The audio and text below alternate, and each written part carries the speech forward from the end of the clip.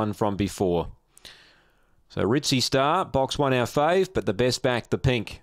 Aston Jazz, set to run here. Race number four at Gawler. They're all in. Ready now. Set racing, beating them out here was Aston Marley. Aston Jazz out wide trying to get over. Aston Marley, Aston Jazz deep out Long Gully Lisa and making room. Ritzy Star finally broke through and took the lead. Gonzaga went to second. There was a big mix up. Five to Aston Jazz and Long Gully Lisa. Out the back, Aston Marley with Blackjack T, but up front, leader the inside. Ritzy Star out deep was Gonzaga, but Ritzy Star just held the lead early, and that was good enough to win. Second, Gonzaga. Third, Long Gully Lisa. And Aston Jazz, who nearly got over, ran fourth. A gap then to Blackjack T, and last in Aston Marley, time 22.96. Well, she had that poor box one record. She looked like she was going to be headed off Ritzy Star, but she did enough to just hold them out deep early.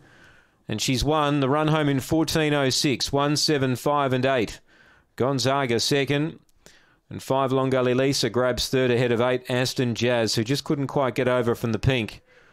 It's a length and a quarter by nine and a quarter, 22.96 the run. Eritzi Star, number one. Too good for Des Hockley, the winning trainer. 1758 after race four Gawler.